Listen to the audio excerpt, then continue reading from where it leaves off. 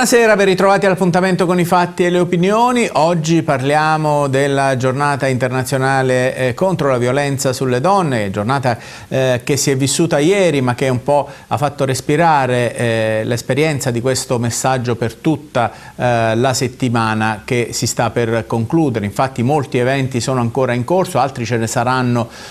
proprio tra domani e dopodomani. Noi daremo spazio in particolare ai protagonisti di un evento che quando andremo in onda si sarà eh, già svolto, si eh, svolge infatti nel pomeriggio di venerdì a Lanciano ehm, a, con alcuni dei protagonisti di questa eh, riflessione aperta sui temi eh, della violenza di genere. Ehm, lo faccio molto volentieri eh, presentando eh, gli ospiti che hanno raccolto il mio invito. Saluto intanto Licia Caprara, salve Licia e noi Buonasera, ci daremo del tu perché tu sei una collega giornalista, responsabile ufficio stampa della ASL eh, Lanciano Vasto Chieti, ma soprattutto in questo eh, contesto past president e moderatrice del convegno del Rotary di Lanciano, proprio su questo argomento. Beato tra le donne il eh, professor Massimo Di Giannantonio, bentornato professore. Grazie dell'invito ordinario di psichiatria alla clinica dell'Università d'Annunzio e soprattutto in questa uh, veste del convegno e della trasmissione presidente della Società Italiana di Psichiatria. Al suo fianco ehm, la eh, validissima eh, legale delle donne in difficoltà in questo eh, territorio provinciale di Chieti, ma non soltanto, eh, animatrice di eh, donne, Francesca Di Muzio. Bentornata Francesca. Grazie direttore, buonasera a tutti. A anche tutti. con te insomma è una consuetudine vederci in questo periodo e anche eh, dare spazio alle tante iniziative che il vostro centro antiviolenza eh, tutto l'anno mette in campo sul territorio. Parleremo anche di uno spettacolo che c'è stato ieri ad Ortona. Eh, io inizierei con Licia un po' anche per spiegare il senso di questo incontro della giornata di oggi, la scelta eh, dei eh, relatori, tra cui appunto eh, di Gian Antonio e di Muzio, ma anche tante altre esperienze per parlare sotto profili eh, diciamo leggermente diversi rispetto a quelli tradizionali del tema della violenza di genere. Ecco, che approccio avete scelto nell'incontro con la cittadinanza eh, che eh, si è svolto nella giornata di oggi? Allora, noi abbiamo scelto un approccio informativo e formativo eh, perché mh, la giornata ha dato anche la possibilità di acquisire crediti professionali sia agli operatori sanitari che agli avvocati, oltre ovviamente è stato anche con un taglio informativo divulgativo per, per la città. Perché lo abbiamo fatto? Il Rotary si caratterizza come un'organizzazione impegnata a livello locale e internazionale su progetti di promozione sociale. Noi cerchiamo di dare un contributo nel nostro piccolo, nel limite delle possibilità, eh, per il miglioramento delle condizioni di vita delle nostre comunità. Il tema della salute delle donne e dei minori fa parte delle nostre aree di intervento e noi del Club Lanciano siamo stati da anni in particolare sensibili al tema della violenza e dei maltrattamenti trattamenti contro, su donne e minori. Eh, e quindi che cosa abbiamo fatto? Perché eh, continuiamo a mantenere eh, vivo questo impegno? Perché già, del, già, nel 2018 abbiamo attivato all'interno dell'ospedale di Lanciano eh, uno sportello dedicato, uno sportello di assistenza dedicato proprio a donne minori ha un senso che lo abbiamo fatto dentro l'ospedale perché eh, molte donne arrivano in ospedale purtroppo per, per, essere assistite e curate e quindi l'idea era quella di accorciare la distanza tra il bisogno della donna di una richiesta d'aiuto rispetto all'offerta di una richiesta d'aiuto e, eh, e, la risposta stessa, eh, perché sappiamo quanto è difficile, l'avvocato di Muzio lo potrà dire meglio di me, sappiamo quanto è difficile per le donne trovare il coraggio di denunciare e magari dopo essere state accolte e, e, e, assistite, curate in pronto soccorso, tornano a casa e, aumenta la paura, aumenta il timore eh,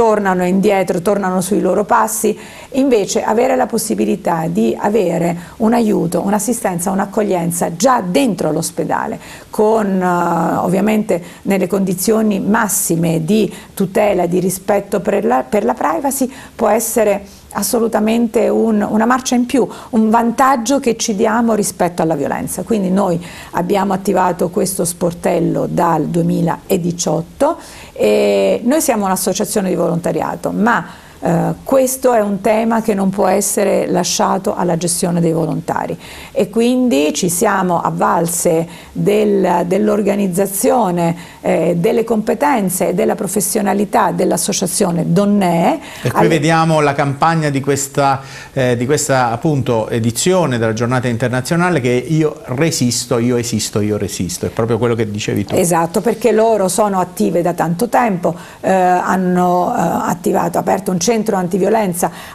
nel comune di Ortona, ma lo hanno già fatto, hanno creato uno sportello, avevano fatto anni fa anche dentro l'ospedale di Ortona e quindi eh, io che poi con, le conosco e le seguo eh, da, da, moltissimo tempo, conosco le loro competenze, eh, le loro capacità, eh, la loro struttura organizzativa e quindi le abbiamo scelte come nostri partner per la gestione eh, dei rapporti e delle attività all'interno di questo questo sportello che il Rotary dopo aver attivato nel 2018 continua a sostenere e ad affiancare non solo economicamente ma anche con una serie di altre iniziative e questa rientra proprio in questo programma. Sì, tra i relatori c'è appunto il professor Massimo eh, Di Giannantonio che parlerà di un tema particolare mh, di cui insomma eh, spesso eh, non vi è traccia eh, nelle analisi che si fanno anche in questi giorni, si parla molto della condizione psicologica eh, delle donne donne dopo aver subito una violenza, ma ehm, in pochi si sono chiesti che cosa scatta nella testa degli uomini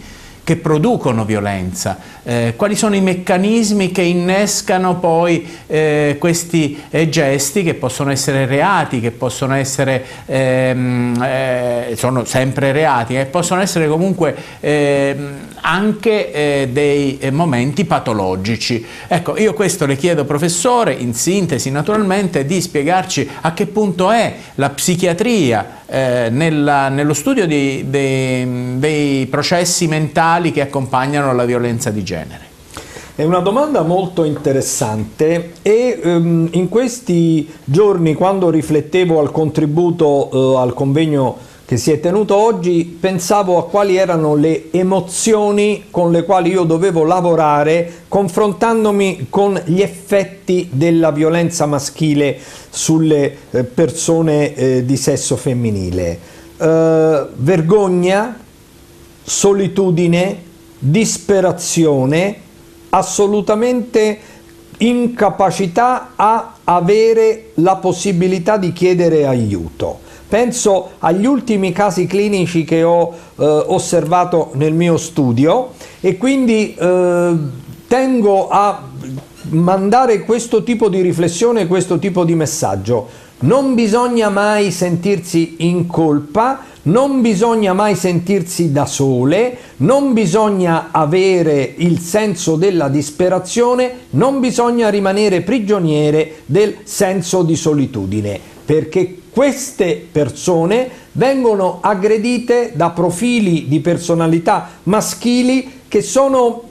profondamente aggressivi, profondamente violenti. Abbiamo esaminato e abbiamo fatto anche delle ricerche specifiche sul profilo di personalità della persona aggressiva, della persona violenta. Innanzitutto occorre essere molto attenti al consumo di sostanze psicoattive. Nel 14,5% dei casi di violenza maschile sulle donne vi è una anamnesi positiva per alcol dipendenza o per sostanze psicoattive ancora più violente. Vi è una storia familiare per la quale vi sono degli abusi, delle violenze subite che diventano drammaticamente le premesse per poter essere ripetute in una persona che non reagisce, non ha la consapevolezza della gravità della situazione. Un'altra questione è quella della responsabilità verso i figli e quindi nascondere eh, gli effetti negativi della violenza della figura paterna per poter cercare in una maniera illusoria di mantenere un certo tipo di immagine, un certo tipo di decoro. E poi il tema della vergogna perché dover portare in pubblico le cose terribili che accadono in privato può essere qualcosa che è un deterrente, un freno assolutamente bisogna reagire immediatamente, non bisogna arrivare alla violenza fisica, basta a chiedere aiuto e denunciare di fronte alla violenza verbale, alla violenza relazionale, alle minacce eh, anche non perfettamente esplicite e bisogna avere la consapevolezza che si corre un rischio terribile e bisogna rispondere sin dal primo campanello d'allarme. Ecco, ma tornando professore al tema di chi pratica la violenza, quanto incide ancora psicologicamente e soprattutto socialmente quel concetto eh, del sesso forte nell'uomo? Beh, questa è una domanda, direttore, estremamente interessante perché se, se vediamo i dati dell'ultima ricerca scientifica sulle opinioni sì. di persone di sesso maschile... E anche femminile, eh, che è stata presentata eh, al Senato eh, giorni fa. Esattamente, sì, esatto. e quindi es esistono degli archetipi e dei giudizi assolutamente superati eh, nel, nel, nell'opinione pubblica, cioè eh, si, le persone possono essere considerate considerate colpevoli se si vestono con abiti che possono indurre dei sentimenti di tipo aggressivo per quanto riguarda l'attrazione sessuale, delle persone che non riescono a rimanere nel loro ruolo ancillare a livello domestico, persone che reagiscono di fronte alle minacce di tipo economico. C'è il, il presidente Mattarella che proprio l'altro giorno ha sottolineato il ruolo fondamentale della parità del trattamento economico nei due generi generi perché se io ho uno stipendio, se io ho una possibilità di sopravvivere non divento per definizione vittima di ricatto, vittima di violenza mi, mi viene impedita la possibilità di gestire la mia vita eh, economica e quindi tutta una serie di condizioni che sono legati ad un ruolo della donna chiaramente superato dalla civiltà contemporanea ed il resto condizioni di grave sofferenza e di grave ricatto per quanto riguarda riguarda le condizioni esistenziali. Tutto questo deve essere assolutamente eliminato nel più breve tempo possibile. Avvocato Francesca Di Muzio, il professore come sempre ci ha aperto un mondo su tutta la tipologia di fenomeni eh,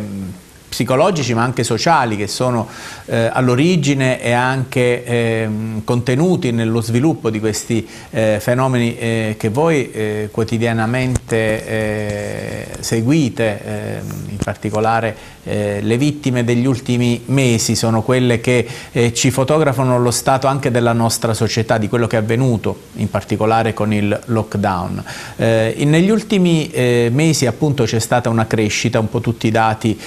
lo testimoniano anche a livello eh, nazionale delle denunce. Qualcuno vede questo ehm, andamento come un fatto positivo perché sono sempre più le donne che denunciano, altri invece insomma, vedono che eh, gli, i fenomeni in questo caso eh, sono in aumento come il numero dei femminicidi, che eh, questo è un dato oggettivo che non può essere interpretato, è sotto gli occhi di tutti. Dal vostro osservatorio di una provincia considerata anche dalle statistiche eh, dei quotidiani quotidiani Sole 24 Ore tra le più tranquille d'Italia, quella di Chieti. Ecco, è, cosa c'è anche sotto eh, il mondo eh, che viene allo scoperto della violenza di genere? Qual è tutto quel, quel settore che va ancora ehm, eh, portato alla luce eh, di un fenomeno così odioso sul nostro territorio?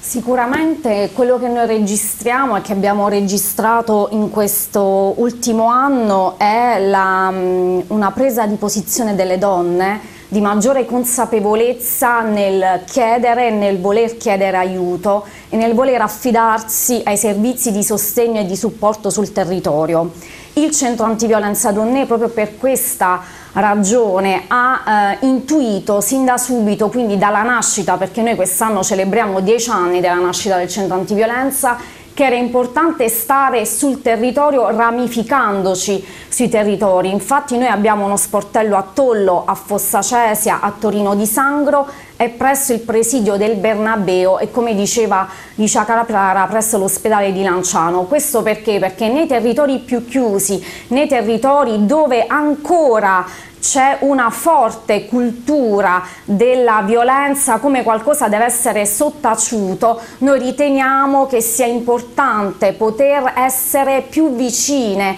alle donne e esserle vicine attraverso dei messaggi positivi. Il messaggio che noi abbiamo lanciato in questa campagna che lei prima ha mostrato nelle immagini, che sono passate nelle immagini, è il messaggio del percorso di uscita dalla violenza. Io resisto, io esisto, cioè il lavoro che i centri antiviolenza portano avanti sul territorio è un lavoro che permette alle donne di porre in essere tutti quegli atti di resistenza dovuti contro la violenza. E nelle immagini voi vedete una cosa interessante, nella campagna noi abbiamo mostrato eh, volti differenti di donne, perché la violenza sulle donne insiste in tutte le culture ed è trasversale a tutte le donne. Noi registriamo, per esempio, nei dati, adesso analizzando i dati di quest'anno in particolare, ma considerate che noi in questi dieci anni abbiamo assistito e preso in carico più di 400 donne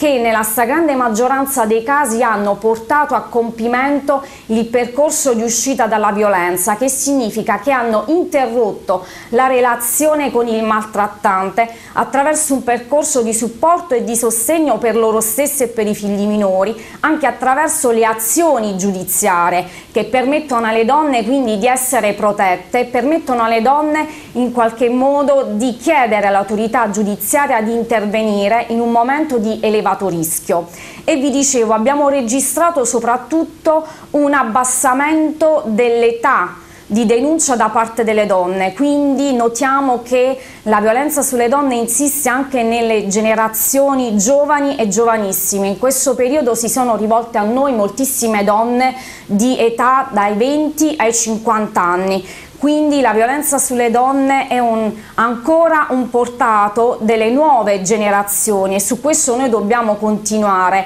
a lavorare e abbiamo lavorato in questi giorni attraverso progetti nelle scuole, attraverso quindi tutto quello che noi riteniamo essere fondamentale, ovvero sia l'attività di prevenzione che passa dall'educazione. Parlava prima il professor Gian Antonio del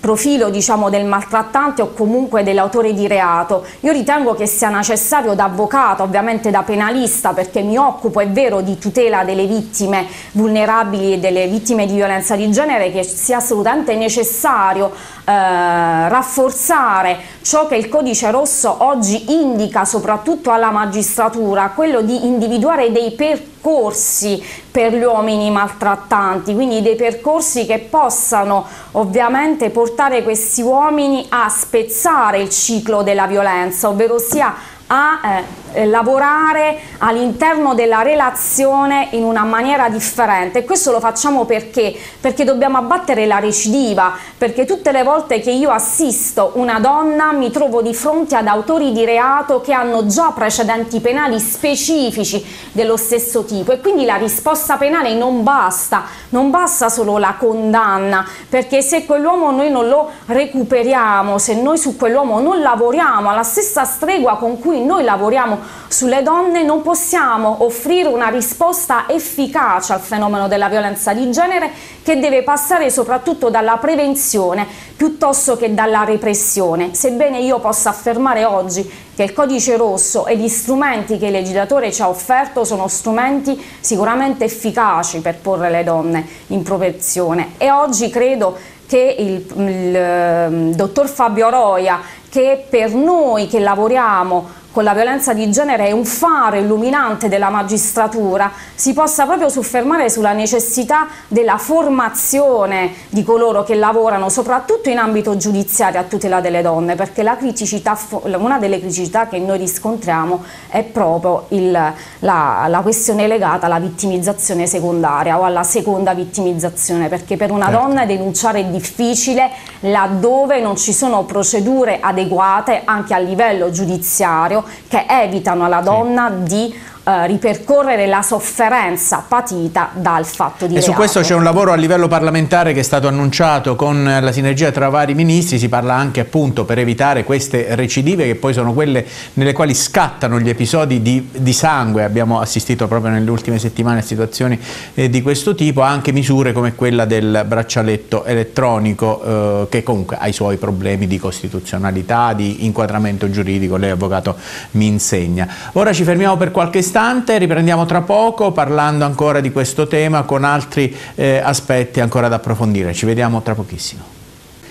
Siamo tornati in studio, stiamo parlando del fenomeno della violenza sulle donne, parliamo anche di un convegno che si è svolto oggi pomeriggio, eh, promosso dal Rotary di Lanciano, i cui temi stiamo approfondendo nella nostra trasmissione. Grazie anche a Licia Caprara che ha raccolto nel preparare questo appuntamento anche testimonianze da parte di donne vittime di violenza. Ecco, tu che sei Licia una esperta anche di comunicazione, che cosa ti ha colpito anche nella ehm, differenza di approccio rispetto al passato? Eh, delle vittime eh, di violenza nei confronti dei media, nei confronti anche eh, del mondo della comunicazione. quanto è importante eh, che si eh, superi anche eh, questa barriera difficoltosa assolutamente che le vittime di violenza si trovano davanti. Cosa hai avuto anche a livello di sensazioni nel preparare questa giornata? Eh, lo dicevamo anche prima con, con l'avvocato Di Muzio, che anche lei registra da parte delle donne che vengono seguite da, da Donnè eh, un, un, cambio di atteggiamento e cioè quello di un, sostanzialmente di un maggiore coraggio. Eh, ed è quello che eh, ci ha mh, testimoniato concretamente la nostra ospite di oggi, perché eh, intanto va bene, lo sappiamo che ci vuole un grandissimo coraggio per eh, intraprendere un percorso che è duro, difficile, complicato, doloroso e quant'altro, ma ce ne vuole altrettanto per testimoniare mettendoci la faccia, eh, presentandosi con il proprio nome, con il proprio volto e con la propria storia. Eh, perché eh, la, nostra, la, nostra, testimone di oggi ci diceva proprio questo, eh, che lei è stata nascosta per tanto tempo e, e, che può bastare così, che può bastare così perché eh, non aveva, non, aveva, e non ha alcuna intenzione di proteggere ulteriormente che cosa? Lei eh, ha vissuto un autentico inferno di cui oggi ci ha raccontato mh, alcuni alcuni aspetti, anche se poi ci siamo concentrate prevalentemente sul, su quello che è stato il suo approccio per, con il percorso eh, di assistenza a livello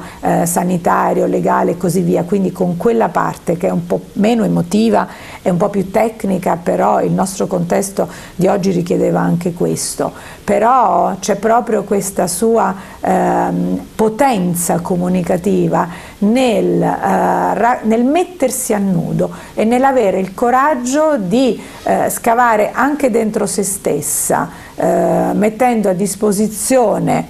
di tutte le altre donne. E di questa battaglia quello che è il vissuto, i limiti, le difficoltà, il dolore, a un certo punto la forza, che però è, è, necessario che le persone che si trovano a vivere situazioni drammatiche come la sua tirino fuori per salvare se stesse, per evitare di essere uccise, perché eh, lei, lei si, si, è definita una ehm, femmina, una donna femmina morta.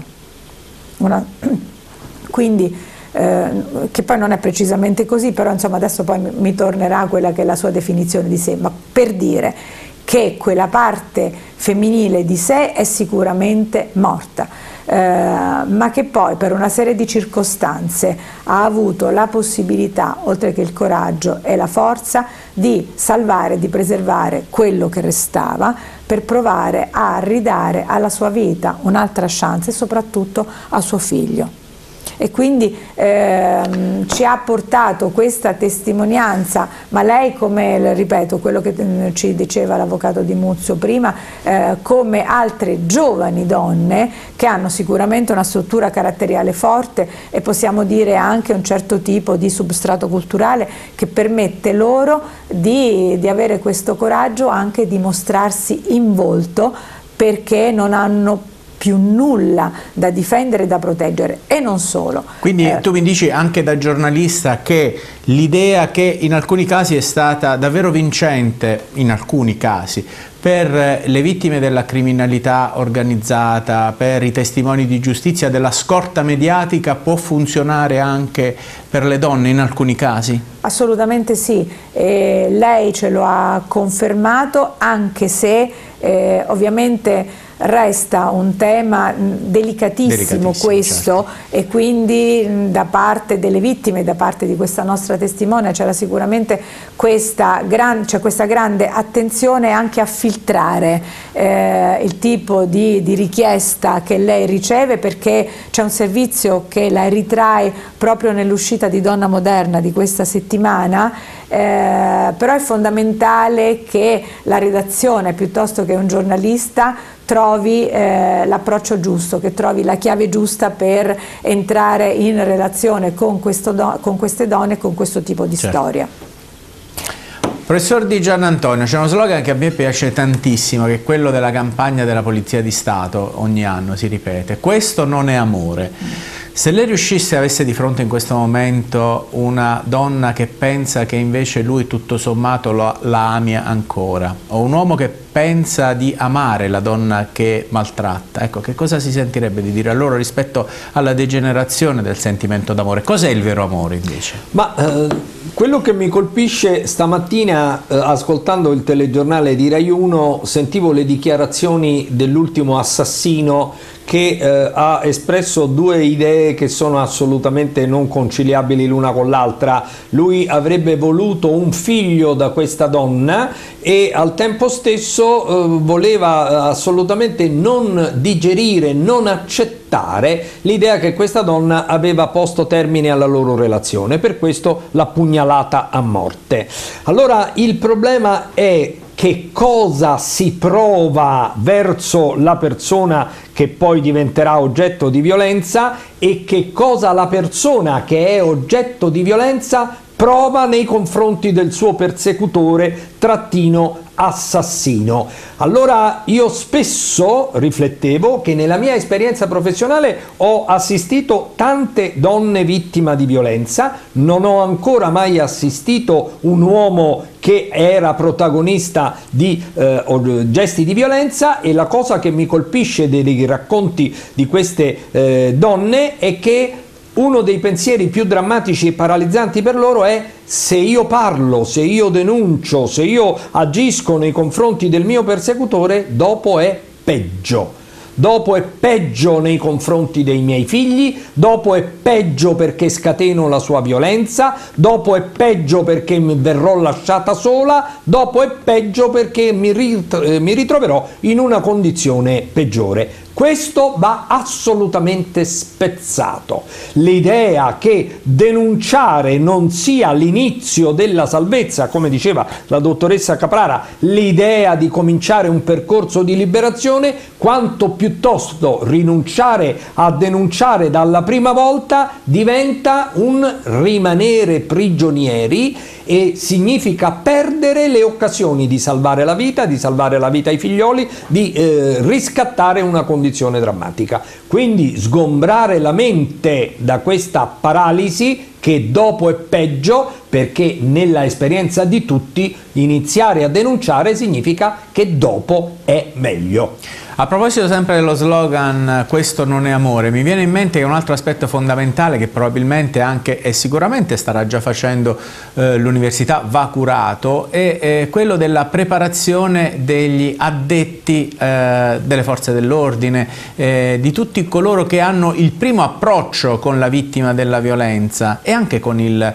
eh, violentatore. Ecco, da questo punto di vista, professore, ehm, per la formazione, per i comportamenti comportamenti da adottare. Io leggevo per esempio, ce ne parlava ieri il questore di Pescara, che esiste un database nazionale in cui questi atti di violenza vengono ehm, condivisi a livello di informazioni anche rispetto alla personalità della famiglia, della persona che ha già praticato violenza, in maniera che il carabiniere, il poliziotto, eh, la gente che si trova di fronte per la prima volta a questa persona non abbia davanti a sé un libro vuoto. Ecco, quanto potete essere utili voi nella formazione eh, delle forze dell'ordine in particolare, ma anche degli operatori sanitari. È un tema delicatissimo perché sia le forze dell'ordine sia gli operatori sanitari hanno come loro attività quotidiana quello della relazione con l'altro. Allora la eh, formazione ad un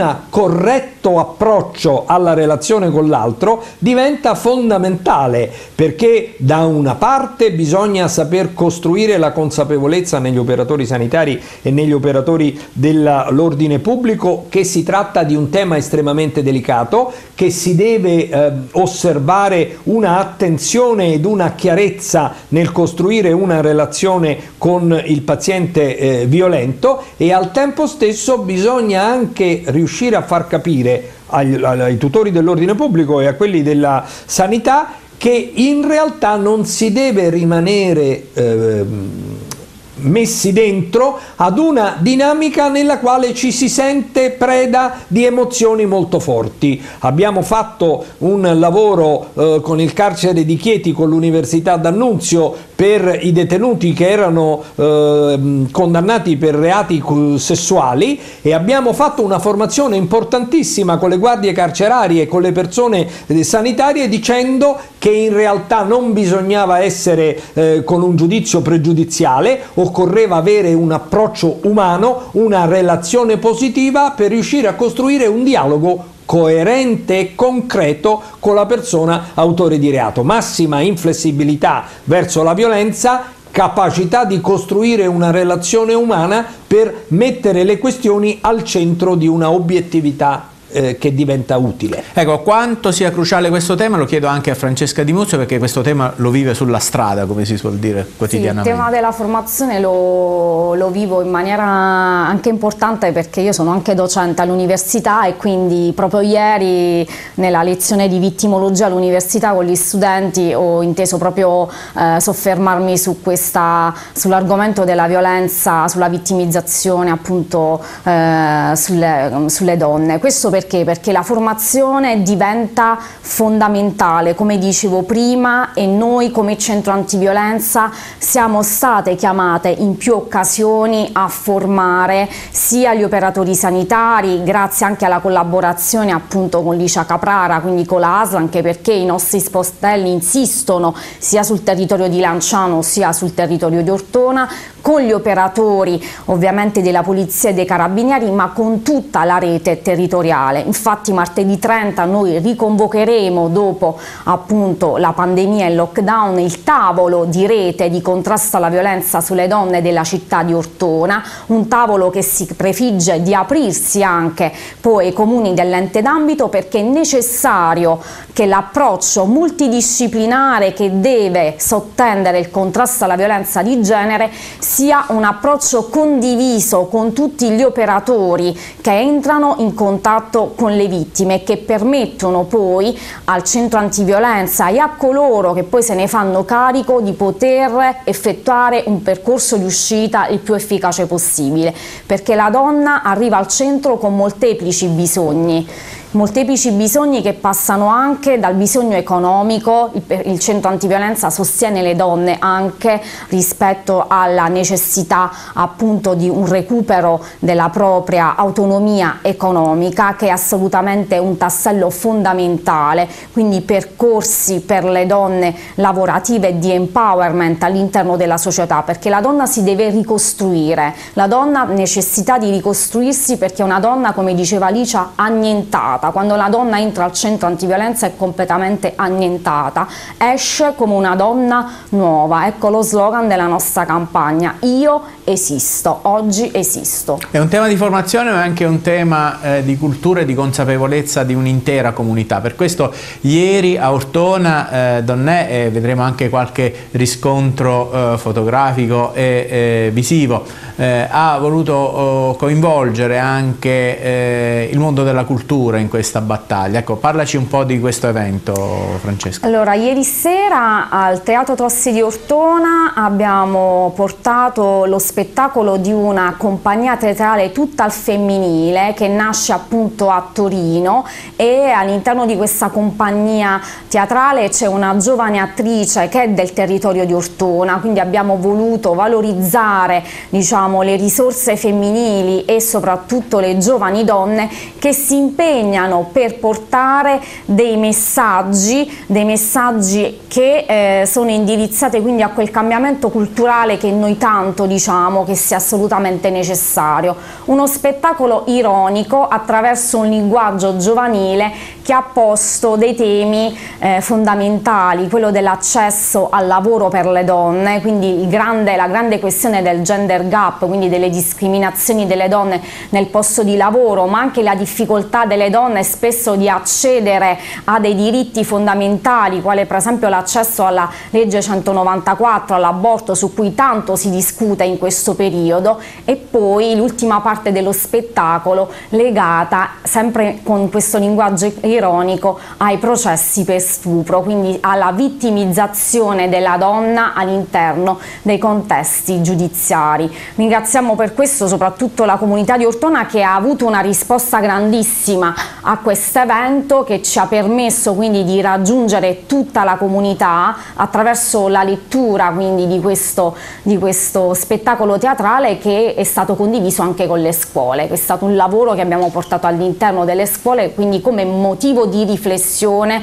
sulle questioni che interessano le donne ma anche e soprattutto gli uomini. Bene, noi ci fermiamo per la seconda pausa, tra poco torneremo in studio anche per lanciare ulteriori eh, messaggi in questa trasmissione. Linea alla regia. Siamo tornati in studio, eh, volevo proseguire proprio sul tema della preparazione di, eh, degli operatori del primo contatto con eh, le persone che eh, hanno subito questi episodi di violenza. Ne volevo parlare con Lice Caprara questa volta anche in veste di comunicatrice per quel che riguarda una eh, struttura importante come un'azienda sanitaria eh, locale. certo noi il consiglio che diamo, penso anche Francesca lo dirà, anche il professore e chiamare se possibile subito il 1522 quando si ha anche un minimo eh, dubbio circa eh, ciò di cui si è vittima in quel momento. Il 1522 è un numero che ha un, alle spalle anche una struttura di eh, professionisti formati che anche, eh, conoscono il territorio, sanno anche che tipo di approccio avere. Ma eh, dal punto di vista dei servizi sanitari ordinari, Licia Caprara, qual è la situazione? Ma ehm, mi riaggancio a quello che, che diceva l'avvocato Di Muzio sul fatto che eh, dobbiamo essere tutti quanti insieme e eh, è necessaria un'organizzazione a rete e soprattutto parlare tutti quanti la stessa lingua. E, e quindi il nostro incontro di oggi aveva questa finalità, oltre che di informare ma anche di formare ehm, sia per la parte legale, tutti quelli che devono intervenire eh, dopo, ma soprattutto gli operatori sanitari che si trovano a fare la prima accoglienza. Eh, mi spiace che non abbia potuto dare il suo contributo a questo nostro incontro la dottoressa Enrica Delfini che noi abbiamo invitato e che è stata oggi con noi eh, ed è stato un invito molto voluto eh, quello fatto a lei. Chi è Enrica Delfini? Enrica Delfini è un medico eh, specialista in medicina medicina di emergenza e urgenza in servizio presso il pronto soccorso dell'azienda ospedaliera San Giovanni della Dolorata di Roma e che è una donna, una professionista che è eh, dedicata in maniera particolare, fa anche altro ovviamente, ma è, dedicata in maniera particolare all'accoglienza alle donne vittime di maltrattamento e violenza che arrivano al pronto soccorso. E allora da, è necessario formare, noi l'abbiamo già fatto in precedenza quando abbiamo attivato lo sportello, però c'è bisogno ancora eh, di, di, fare un richiamo e di formare gli operatori eh, delle strutture sanitarie, ma in particolare quelli che lavorano nel campo dell'emergenza, per, intanto per attivare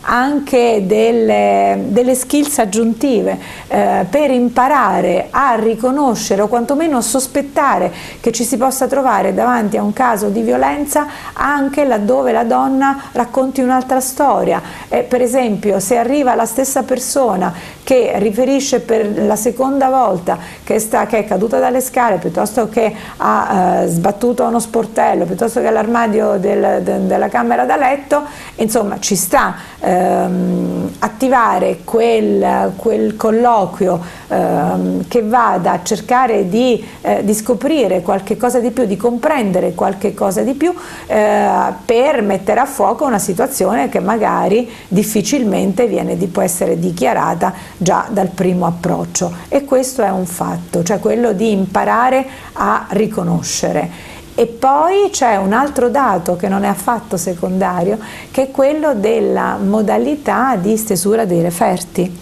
che sono importanti nel momento in cui poi la donna si decide a intraprendere il percorso di uscita dalla violenza dove il referto sarà un, un elemento determinante. Quindi insomma sulla formazione eh, c'è moltissimo da lavorare, ripeto, noi con, con l'iniziativa di oggi abbiamo provato a dare un contributo sia per la parte legale che per la parte sanitaria. Erano presenti soltanto, non solo i medici perché abbiamo aperto tutte le figure sanitarie, perché è importante che tutti gli operatori che hanno interesse per questo tema ma che all'interno di un ospedale possano trovarsi a contatto con situazioni di questo genere imparino a riconoscerlo.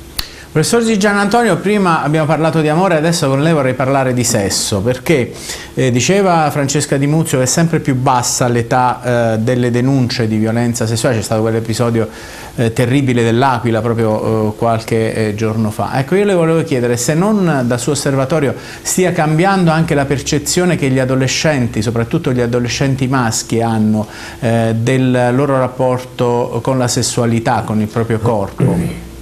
Ma è un problema estremamente complesso. E poi questo investe anche il bullismo. Esattamente, quindi il sexting, eh, l'idea di avere delle violenze attraverso i telefonini, attraverso i sistemi informatici eh, legati all'adolescenza. e quindi il problema è che da una parte ci dovremmo aspettare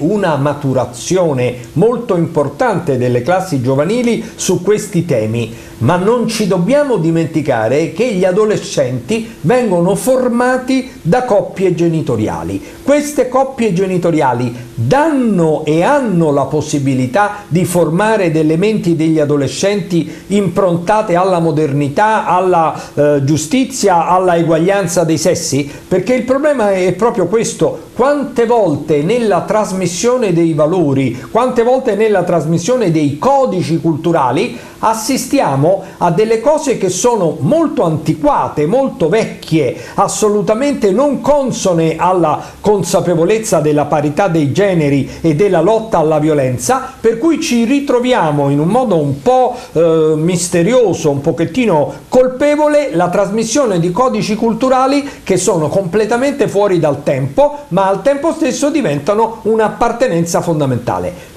Quindi l'educazione, la formazione, la eh, questione anche della giusta condanna di certi elementi che sono fuori dall'accettabilità e dall'etica diventano fondamentali per costruire, soprattutto in questo momento di pandemia, una consapevolezza degli adolescenti che questo non può essere accettato quando diventa trasgressivo, regressivo, aggressivo e violento. Quindi su questo non possono essere condannati a mh, priori i social come strumento, sulla percezione di una sessualità confusa con il gioco. Ma dunque ehm, bisogna comprendere il messaggio antico di Marshall McLuhan che diceva che il medium è il messaggio. Il problema non è il, il tema della ehm, e dei telefonini, il problema è come questi mezzi vengono utilizzati, come questi mezzi vengono vengono ehm, eh, usati. Allora il problema è chi è che riesce a costruire una consapevolezza adeguata di come debbono essere usati correttamente, concretamente, coerentemente questi tipi di mezzi. L'idea che ci sia una netta netta demarcazione tra, tra, ciò che è lecito e ciò che è illecito, ciò che deve essere condannato sempre, dovunque e comunque e ciò che invece può diventare parte di un gioco ironico. Bisogna essere moralmente inflessibili perché soprattutto gli adolescenti colgano il messaggio, quello che si può fare e quello che assolutamente non si può e non si deve fare. Stessa domanda da un altro osservatorio, quello eh, di eh, chi eh, vive nel concreto queste? situazioni. Eh, sì, anche io ritengo che, mm, come dice il professor Di Gian Antonio, sia assolutamente necessario un'educazione perché vediamo che la trasmissione intergenerazionale e della cultura e della violenza sia uh, sotto gli occhi di tutti, perché come ho detto prima, se eh, c'è un abbassamento no, delle vittime, un abbassamento anche dell'età degli autori di reato che sono sempre più giovani e tra l'altro voglio registrare anche un altro dato dato che è emerso nella commissione, eh, nell'inchiesta della Commissione del Senato sul femminicidio, nel, si registra eh, tra gli autori di reato giovani molti episodi di suicidio e in questo eh, vorrei interessare il professor Di Giannantonio perché spesso in un ultimo caso che eh, è accaduto anche eh, al centro antiviolenza Donne, una donna si è recata pochi giorni fa, una donna giovanissima perché aveva denunciato tra l'altro un tentativo di violenza sessuale sessuale,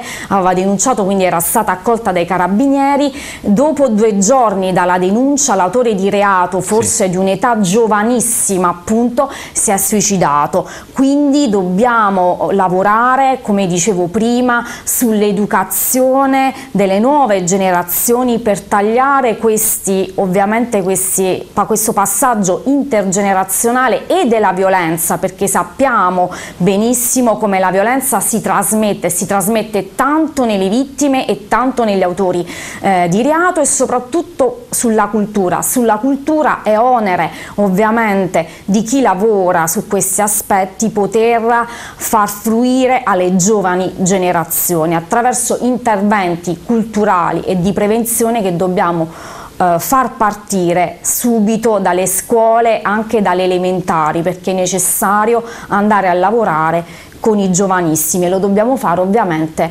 con professionalità formate sul tema. Ecco, sul sommerso, eh, quello che deve ancora venire fuori eh, è che purtroppo non non viene denunciato di questo fenomeno. Eh, volevo chiedere a Francesca Di Muzio se c'era qualche progresso rispetto al fatto, ne abbiamo parlato anche negli anni scorsi in occasione di diversi 25 novembre, che essendo la nostra sempre più una società multietnica vi sia eh, da parte delle donne immigrate una eh, maggiore apertura rispetto alla eh, alla prospettiva di poter denunciare i soprusi eh, rispetto ai quali anche per ragioni eh, culturali, etniche vengono sottoposte?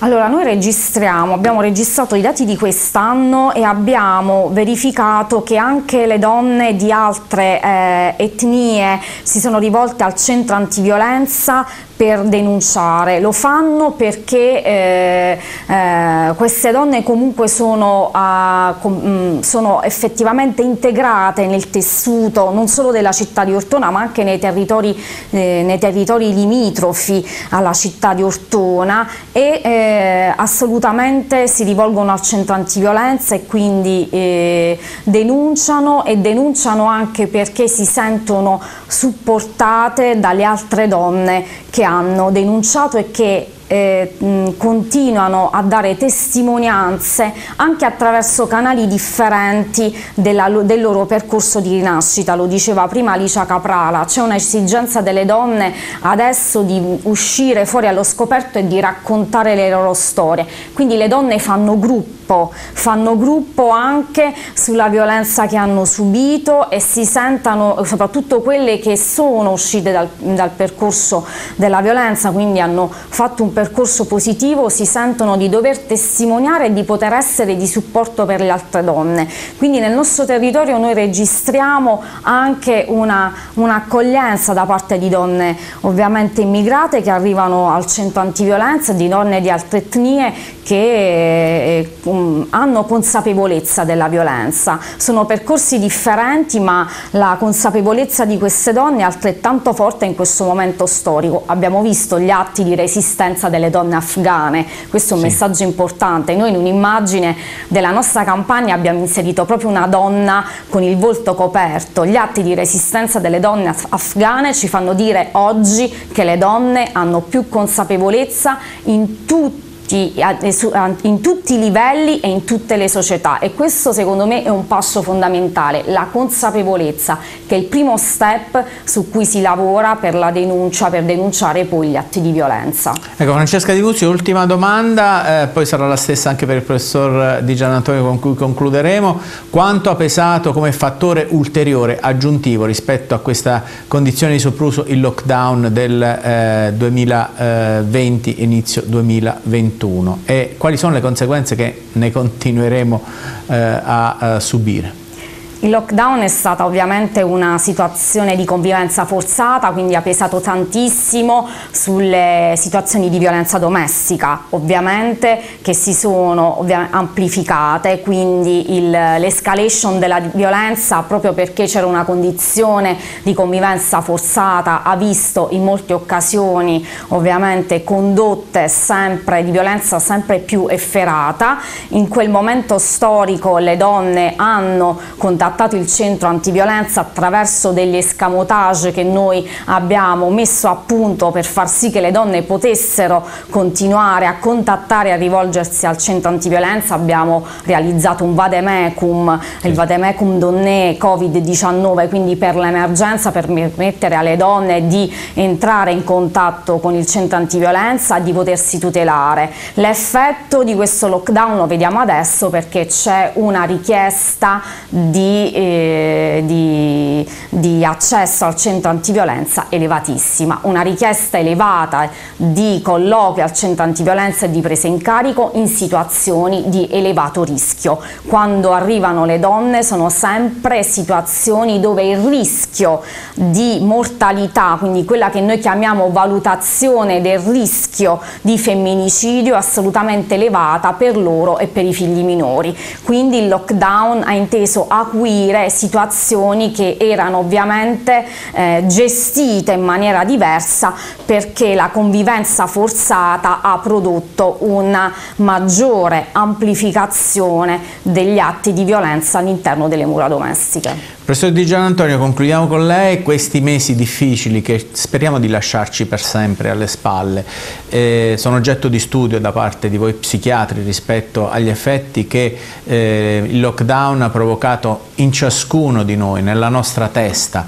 Eh, che cosa è accaduto in quella delle persone più fragili come le vittime di violenza? Professore, possiamo già stimare quale sia il danno e soprattutto come se ne possa uscire? Ma ehm, ci sono dei dati oggettivi. Il primo è che eh, l'Organizzazione Mondiale della Sanità ha eh, dichiarato che tra le peggiori conseguenze nella media e nella lunga distanza della pandemia da Covid-19 vi è l'aumento del disagio psicopatologico e l'aumento delle problematiche psicosociali. Persone particolarmente vulnerabili come le persone eh, oggetto di violenza domestica sono evidentemente in prima linea nel subire le conseguenze peggiori. La seconda è un riferimento scientifico etologico per ogni tipo di essere vivente la restrizione progressiva dello spazio vitale si porta presso un aumento esponenziale della aggressività interpersonale. Quindi il lockdown come modello sperimentale drammatico di come gli spazi ristretti aumentano le difficoltà interpersonali, aumentano l'aggressività, aumentano la violenza. Terzo, il dato oggettivo di quello che abbiamo registrato come consumo di farmaci. Durante il lockdown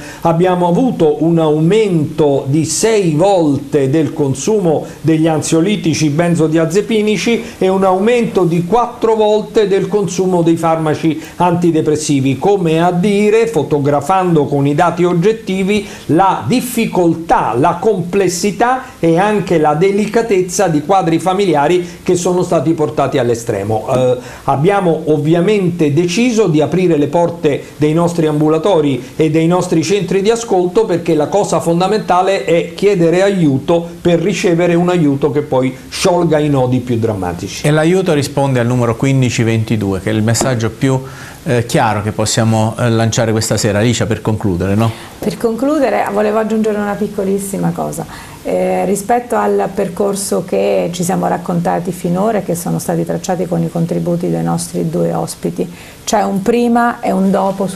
penso sul quale valga la pena eh, concentrarci, eh, perché quello dell'aiuto dei centri antiviolenza, dello sportello e di tutto quello che facciamo insieme eh, è un tipo di eh,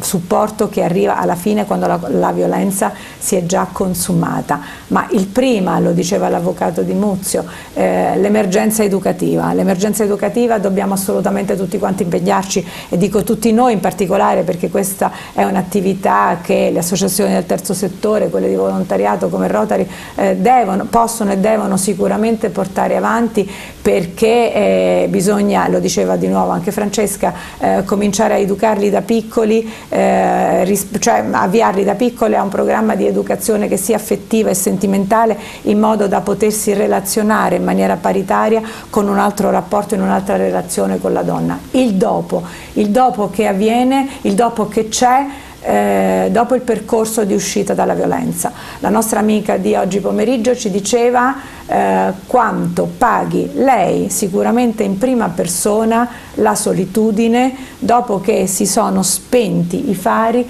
sul, um, sull'attualità, sì. eh, dopo che eh, la sua storia ehm, finisce lentamente col, col perdere di attenzione, dell'attenzione del momento, del, della cronaca e dell'attualità, eh, il vuoto che le si crea intorno rispetto alla ricerca di un lavoro, rispetto alla conservazione di una rete di relazioni che spesso non resiste come tale, come rete, dopo che una donna si è resa protagonista di un percorso e di una scelta così difficile. Quindi il prima e il dopo sono eh, pezzi, segmenti di queste storie, di queste vicende che dobbiamo assolutamente avere presenti e sulle quali tutti noi penso che siamo chiamati seriamente a impegnarci. Giustissimo, c'è anche il dopo ed è vero però per l'ora eh, hic e nunc, come, dice, come dicevano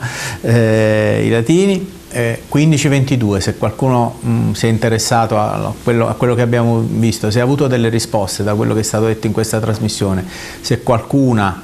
ha eh, ancora qualche dubbio da voler sciogliere può farlo contattando Donnè, contattando le strutture eh, sociosanitarie chiamando il 1522, ma non è mai troppo tardi per denunciare. Grazie a tutti voi e grazie e buonanotte. Arrivederci.